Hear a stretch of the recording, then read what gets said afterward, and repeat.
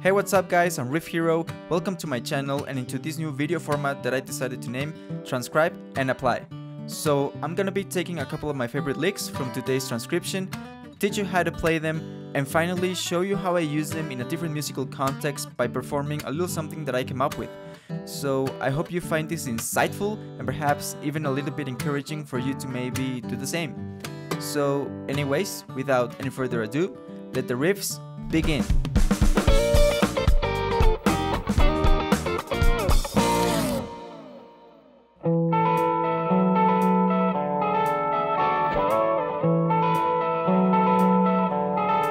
Thank you.